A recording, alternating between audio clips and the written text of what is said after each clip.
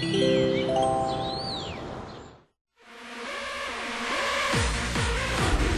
주 게임쇼 즐거운 세상에서는 3D 게임으로 돌아온 놈5 개발 현장과 한 주간의 다양한 게임기 소식 그리고 다양한 후기작들을 만나보고 백정호의 비오에서는 킬존 3를 집중 분석해봅니다.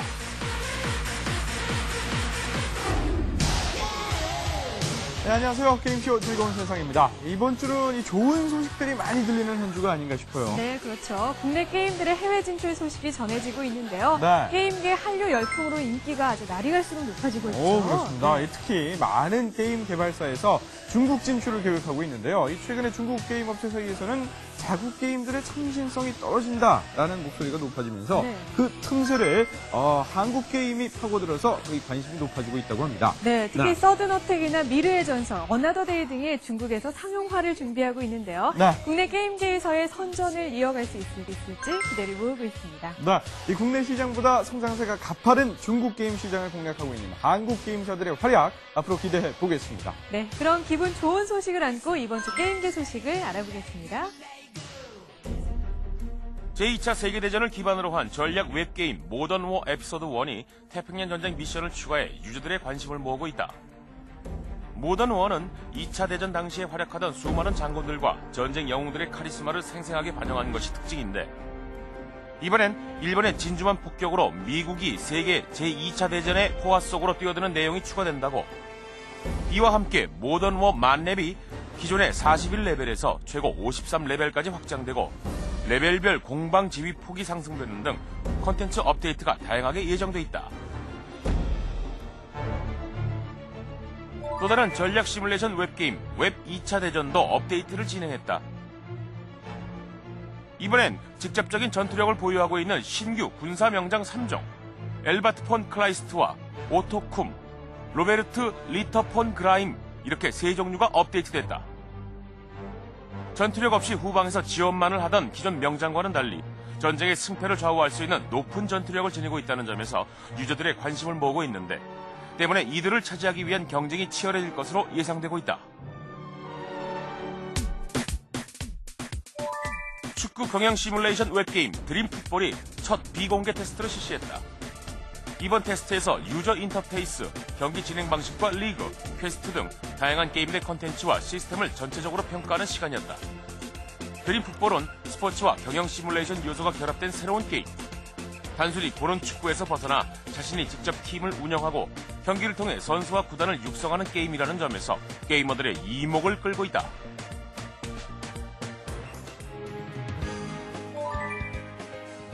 다음은 프로야구 매니저의 업데이트 소식. 이번 업데이트의 가장 큰 부분은 대회 모드를 업데이트한 것. 선착순 참가 신청을 통해 진행되는 이번 게임은 최대 1024강까지 토너먼트로 이루어지게 된다는데 게다가 선수들의 특이 사항 등 관련 내용들을 자유롭게 기록할 수 있도록 선수 카드 메모 기능이 추가되고 3월 연습 경기와 함께 감독 카드가 리뉴얼 된다고 하니 유저들은 이번 업데이트를 주목해보자.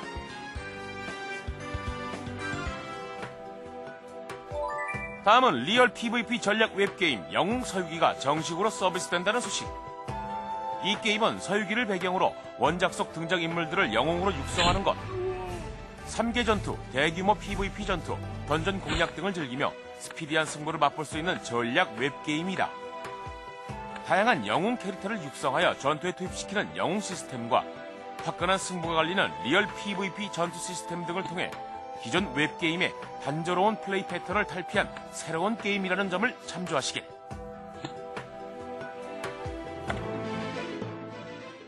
다중 접속 역할 수행 게임 다크 에덴도 신규 컨텐츠인 젠티스 던전을 공개했다. 지난해 추가된 루페르 섬 지역의 확장 컨텐츠인 젠티스 던전은 1일 1회 입장 가능한 돌파형 instance 던전이다. 돌조각 열쇠 아이템과 일정 금액을 소지하고 있는 유저만이 입장할 수 있다고 하니 주의하시길.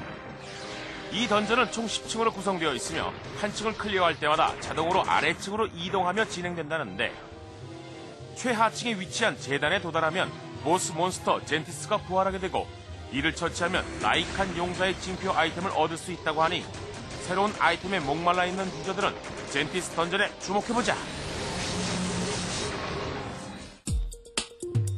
와, 이번 주 게임계는 네. 봄 소식만큼이나 훈훈한 소식들이 많이 올라왔네요. 네, 그렇습니다. 이 3월이라는 달이 게임계도 그리고 유저들도 뭔가 시작하는 느낌이랄까요. 그래서 개발사들이 더욱 신경을 써서 업데이트를 진행하는 것 같아요. 네, 날로 다양하고 새로운 게임들이 등장하고 있죠. 네, 자 다음은 현장 소식입니다. 지난해 극장가를 통해 시작된 3D 열풍이 올해도 계속되는 가운데 게임계에도 3D에 대한 관심이 높아지고 있습니다. 플랫폼을 불문하고 3D 기능을 탑재한 작품들이 새롭게 선보이며 유저들의 호기심을 자극하고 있는데요. 그 대표작 중 하나가 바로 모바일 게임 놈5입니다. 이 게임은 2003년 첫 등장 이후 특유의 기발함과 참신성으로 미국과 일본 등 해외에서도 좋은 평가를 얻었는데요. 놈 시리즈는 그간 독창적인 그래픽으로도 눈길을 끌었는데요. 이번 작품의 경우 3D 게임으로 제작된 만큼 이전과는 확연히 다른 그래픽 작업이 진행됐다고 합니다. 저희 같은 경우는 하나의 이미지를 그 적청 칼라를 분리해서 그 이런 적청 안경을 사용하고 보시면은 원본 이미지를 두 개의 이미지로 분리해서 3D 안경을 사용하고 플레이하시면은 이제 그 정말 3D 게임을 3D 그 원근감을 느낄 수 있는 플레이를 가능하도록 저희가 이번에 그 구현을 하였습니다. 나아가 3D 효과의 가장 큰 매력은 바로 입체 효과라 할 수 있는데요. 이에 따라 놈5는 우주 행성을 모티브로 제작된 입체 지형을 게임 속에 구현, 짜릿한 액션성을 제공하는 데 주력하고 있습니다. 이번에 놈 five 같은 경우는 우주를 소재로 했는데 우주라는 것은 우리의 지구의 상식과는 다른 그런 세계라고 생각을 했습니다. 그래가지고 조금 약간 좀 철학적인 배경, 관념적인 뭐 그런 부분들로 형이상학적인 약간 좀 꼬여 있죠. 딱 보면은 어 되게 뭐왜 이런 배경이 있을까인데 그 행성의 이름, 플레이 진행 스타일, 배경 그런 걸 다 보다 보면 아 이 별은 이런 철학적인 테마를 가진 별이구나. 네, 그런 식으로 접근을 해가지고 데칼코마니 기법, 그러니까 미술 기법 같은 거를 예, 응용해가지고 그런 식으로 이제 또 연출하고 그런 식으로 우주라는 곳은 지구랑 다르다라는 그런 느낌을 전달하는 데 주력을 했습니다. 또 이 게임은 데칼코마니 영상 기법을 활용한 대칭의 별, 심장 속을 표현한 박동의 별 등 기존의 게임 그래픽을 탈피한 초현실주의적인 그래픽 기법도 엿볼 수 있는데요. 그간 다수의 시리즈를 선보였던 만큼 보다 신선한 게임성 제공을 위한 개발자들의 아이디어 공유는 계속되고 있습니다.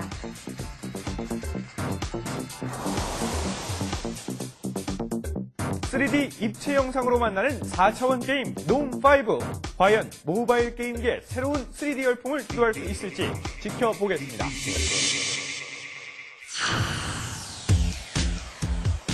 네, 지난해 영화 아바타를 기점으로 해서 이 3D 컨텐츠 제작의 활성화 움직임이 일고 있잖아요. 네, 그렇죠. 하지만 이 2D 컨텐츠에 비해서 제작비나 또 제작 기간 측면에서 불리한 만큼 3D 컨텐츠 부족 현상이 계속되고 있다고 합니다. 네, 하지만 양보다 질이라는 말이 있듯이 그렇죠. 얼마나 완성도 높은 콘텐츠가 제작되는지가 더욱 중요하지 않을까 싶은데요. 그런 면에서 앞으로 우리 게임계가 새롭게 보여줄 3D 작품들은 어떤 모습일지 기대가 됩니다.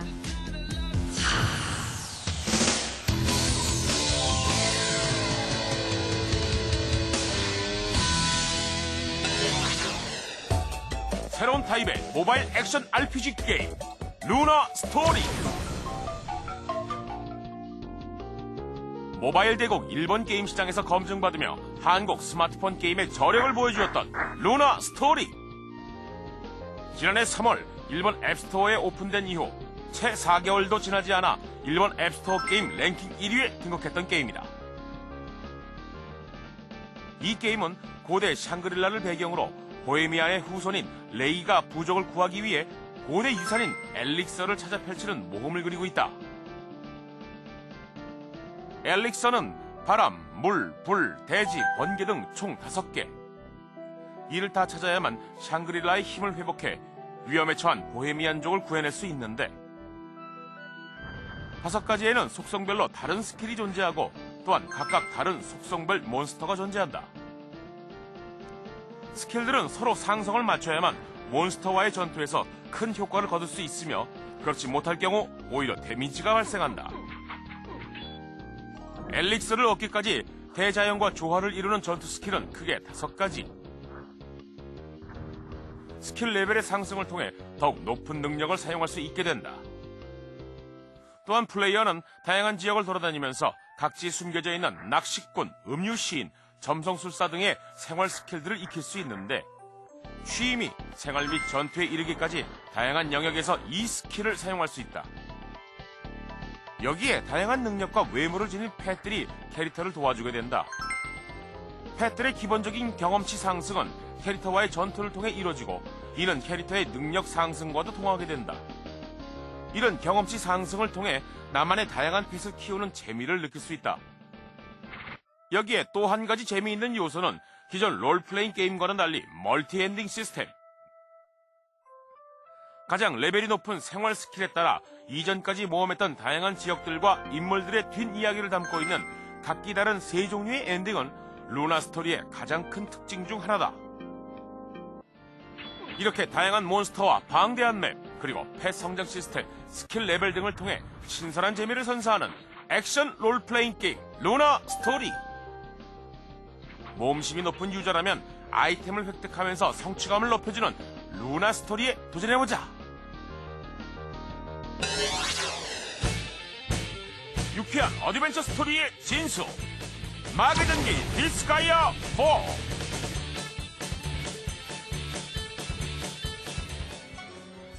전작 특유의 어드벤처 스토리의 장점을 그대로 살리고 캐릭터의 그래픽을 진화시켜 새롭게 등장한 마계전기 디스가이아 4. 이 게임에서 눈여겨볼 만한 것은 전작에 비해 새롭고 다양해진 캐릭터들. 이번엔 마왕 대신 마계 대통령과 같은 색다른 세력들이 등장하는데 이들이 마계의 권좌를 놓고 다투는 것이 볼거리. 다양한 캐릭터들을 주목해보자. 또한 마 체인지를 할 때는 기묘한 디스가이아 설정을 더욱 복잡하게 만들어 플레이를 할 때 여러 가지 기능을 조작할 수 있는데 단순한 플레이에 지친 유저들은 이 점을 활용해보자. 이 외에도 지오 이펙트나 도킹도 눈여겨보자. 전작에도 이미 등장한 시스템이긴 하지만 4편에서는 업그레이드가 확실히 된 부분이다. 지오 이펙트에서 공격과 방어를 적절히 이용해 보너스 게이지를 획득하는 재미가 쏠쏠할 것이다. 여기서 커서가 민감하게 느껴진다는 점이 단점 중 하나. 그리고 한글화가 안 된 점은 유저 입장에서 아쉬운 점이다. 전투 모드를 즐기다 보면 필드 자체가 좀 더 광활해지고 입체화된 점을 느끼게 되는데 특히 화면 자체가 해상도가 좋아지면서 광활하게 느껴진다. 그 속에서 각 등장 인물들이 색다른 방법으로 등장 접근하고 있다. 사각형 타일을 붙여 만든 필드에서 이미 할 수 있는 모든 행위를 두루 섭렵한 디스가이아. 이번에 선보인 거대 몬스터와 캐릭터들의 대결은 다소 색다른 의미가 있다. 디스가이아를 처음 즐기는 유저나 시뮬레이션 역할 수행 게임을 처음 접하는 유저들도 쉽게 즐길 수 있도록 제작됐다고 하니 새로운 캐릭터들과 악의 모험을 떠나보자.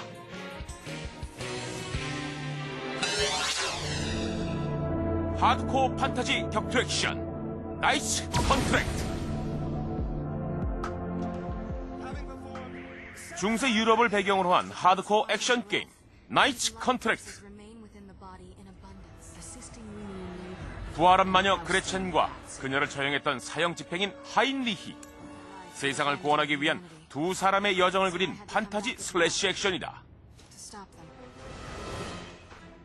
이 게임은 거대한 낫을 휘둘러 적을 분쇄하는 하인리히의 통쾌한 액션과 강력한 마법으로 그를 지원해주는 그레첸의 협력 플레이가 핵심 포인트. 특히 거침없는 공격으로 적을 분쇄하는 하인리히의 낫 공격은 게임의 중심이 된다.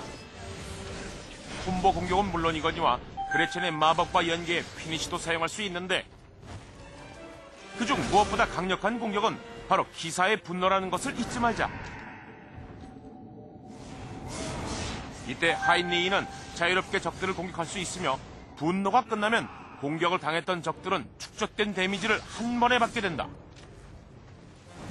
기사의 분노를 잘 활용하면 더욱 화려하고 멋진 연계 공격을 펼칠 수 있을 것이다. 또 하나 중요한 것은 기묘한 파트너인 그레첸. 살아남고 싶다면 그녀가 가진 마법의 힘을 최대한 활용해야 한다. 하인리의 칼날과 그레첸의 파괴적인 마법이 만나면 적들을 단번에 물리칠 수 있는데 하인리는 그레첸을 보호하기 위해 흉측한 괴물 그리고 사악한 악마들과 맞서 싸워야 한다. 자, 두려움과 맞설 준비가 되었다면 공포와 혼돈에 물들어 있는 이곳에서 하인리와 그레첸의 불멸의 여정에 직접 동참해보자.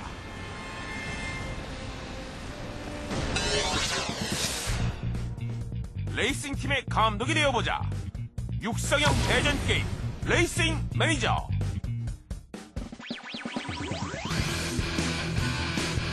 이 게임은 유저가 직접 원하는 레이싱 팀을 만들고 직접 매니저가 되고 자신의 팀을 운영, 관리하는 매니지먼트 게임이다. 게임을 시작하기 전 가장 먼저 할 일은 매니저와 드라이버를 선택하는 일. 자신의 취향에 맞게 매니저와 드라이버의 이름과 얼굴을 선택한 다음 나만의 멋진 레이싱카를 선택해보자. 레이싱카 선택이 끝났다면 하나의 팀이 창단된 셈이다. 그렇다면 이렇게 창단된 팀을 업그레이드 시켜볼까? 이것은 훈련 모드를 통해 가능하다. 훈련은 드라이버 카테고리에서 가능하며 이를 100% 완성시키면 표시와 경험치 그리고 능력치를 부여받게 된다. 부여된 미션을 수행하거나 머신 연구를 완료하면 레벨이 올라가는데 이렇게 다양한 업그레이드를 통해 육성의 재미를 맛볼 수 있게 된다. 특히 총 10명의 인기 레이싱 모델들이 훈련을 끝내거나 미션 완료 등 업그레이드 될 때마다 등장해 활력소 역할을 해준다.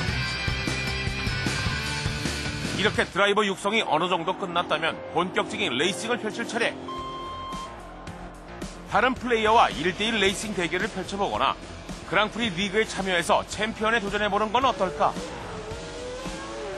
특히 플레이어가 육성한 팀이 최강의 레이싱 팀으로 나아가기 위해선 다양한 전략적 요소가 필요하다.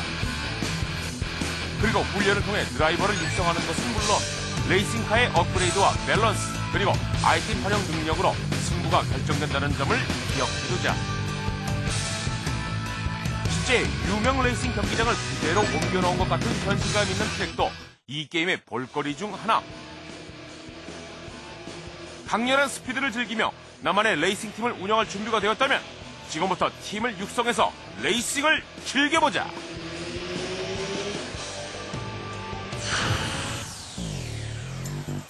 네, 이번 주에는 생동감 있는 액션을 선보이는 게임과 이 네. 전략과 계획이 필요한 시뮬레이션 경영 게임이 돋보이는데요.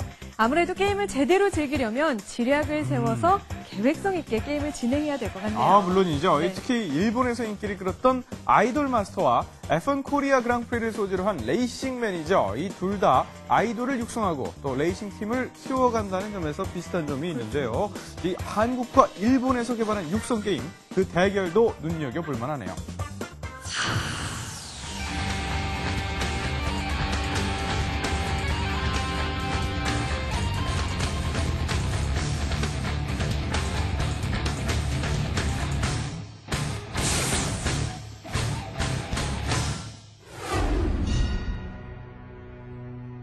폐허가 된 도시와 황무지 그리고 끊임없이 벌어지는 전장 속의 처절한 혈투 시공을 초월한 색다른 전투가 다시 찾아온다 북극해 열대우림 심지어 우주까지 아우르는 거대한 영토 확장은 물론 새로운 컨텐츠로 폭넓게 돌아온 헬가스트와 ISA 간의 끝나지 않은 공방전 지금부터 피할 수 없는 적과의 동침이 시작된다. 킬존 3! 자, 그러면 게임을 한번 진행해 보도록 하겠습니다. 음, 오늘 플레이할 게임은요, 어, 킬존 3인데요. 뭐 이 킬존 시리즈라고 하면은 이미 어떤 플레이스테이션을 대표하는 FPS로서의 어, 자리매김을 한 게임입니다. 뭐 이번 작품의 전체적인 스토리는요 그 어, 킬존 2의 스토리를 그대로 이어가면서요 어떤 시스템상으로는 전작에서 어떤 가졌던 게이머들의 불만을 어, 많이 해소시키려고 이 개발진이 노력을 했다고 합니다. 어, 또한 이 중요 그 종족인 헬가스트의 어떤 그 스토리에 초점을 맞췄어요. 그들의 삶을 굉장히 잘 담아냈다고 하는데요. 어, 그런 것들을 또 유심히 보면서 게임을 진행하는 것도 예, 큰 재미가 될 것 같습니다. 사실 큰 점수를 줄 수 있는 거는 일단은 그 텍스트 한글화가 아주 깔끔히 됐다는 겁니다. 예. 뭐 아무리 이렇게 FPS 게임이라고 해도요 요즘 게임 같은 경우가 어떤 스토리의 중요성을 예, 말을 안 할 수가 없기 때문에요 이게 깔끔하게 한글화를 했기 때문에 어떤 재미가 훨씬 더 어, 좋다는 거는 예, 당연한 이야기겠죠. 자, 이번 주에 가장 큰 특징은요, 일단 어떤 배경의 스케일이 틀려졌다는 겁니다. 전작 같은 경우는 어떤 그 어, 도시의 폐허나 뭐 이제 좀 약간 한정된 지역에서 그 전투가 벌어졌다고 하면요, 이번 작품 같은 경우는 어떤 그 광활한 그 벌판 있죠. 그러니까 뭐 설원이나 또 뭐, 뭐 열대 지역, 뭐 혹은 심지어는 우주까지 배경이 이렇게 점차적으로 커진다고 하니까요, 스케일이 넘치는 예, 그런 어, 플레이를 좀 할 수 있을 것 같습니다. 예, 특히 이제 이 설원맥 같은 경우는요, 이 킬존 최초로 어떤 등장하는 굉장히 이런 눈에 쌓인 그런 배경인데요, 어, 은근히 또 굉장히 어떤 기대가 됩니다. 예, 뭐 전체적인 그래픽 같은 경우는 뭐 요즘 게임에 딱 어울릴 만한 예, 굉장히 그 아주 리얼한 예, 그래픽을 보여주고 있습니다. 어떤 어, 전투의 긴박감을 살린 어떤 배경도 굉장히 멋있고요. 총기 그리고 그 플러스 해가지고 음, 뭐 전체적인 배경 그리고 느낌 자체가요 굉장히 어떤 게임에 몰입할 수 있도록 예, 그렇게 좀 그래픽을 좀 살렸네요. 네. 전투 방식은요, 당연히 FPS답게 총기가 메인을 이루고 있고요. 사실 전작에는 조금 어떤 그 명중률이 좀 떨어졌다고 하면요, 이번에는 명중률이 사실 많이 올라갔습니다. 뭐 일반적인 그 어떤 소총으로도 마치 그 스나이핑하는 듯한 느낌의 어떤 그 정확도를 좀 보여주고 있고요. 어떤 총기의 반동도 훨씬 더 떨어져가지고요. 그러니까 좀 덜 해가지고요. 그러니까 FPS 초보가 쉽게 접근을 할 수 있도록 어떤 난이도를 좀 조절한 것 같습니다. 자, 이번에 또 이제 새롭게 추가된 어떤 신규 무기를 이제 살펴보자면요. 특히 이제 눈에 띄는 건 이 개인용 제트 그런 머신인데요.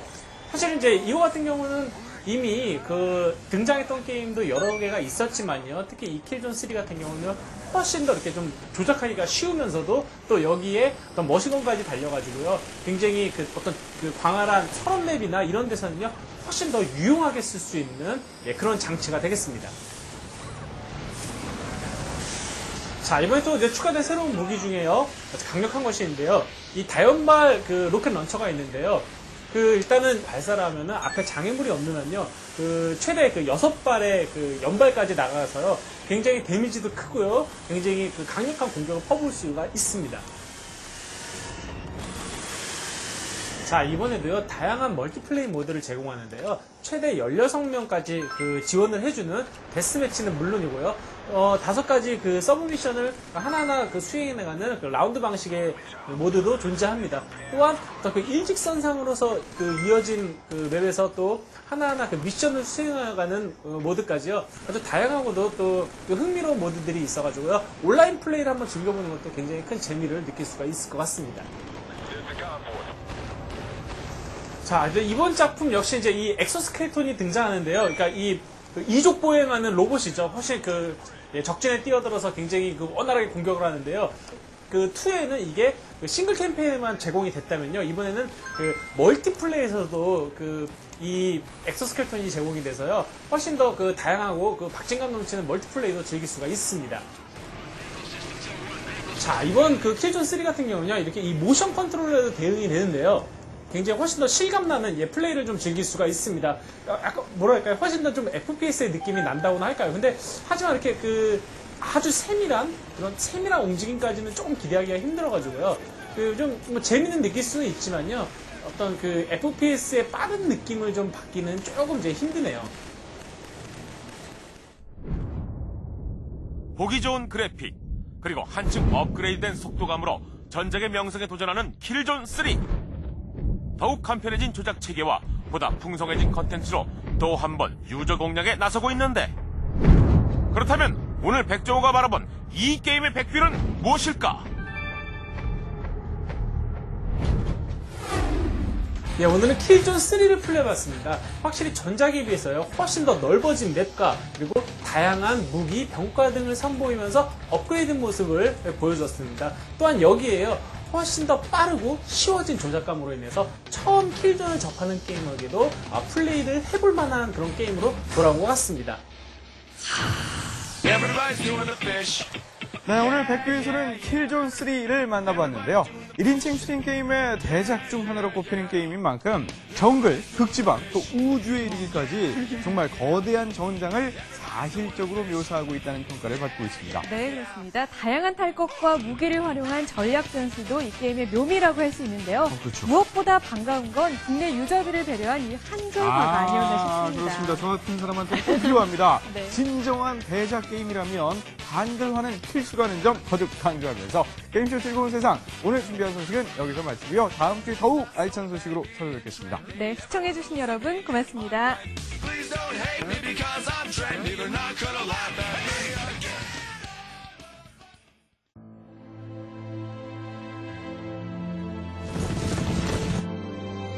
너와 함께하면 가지 못할 곳은 없다. 우리가 가는 곳이 곧 길이 될 테니까. 말과 나의 이야기, 엘리샤.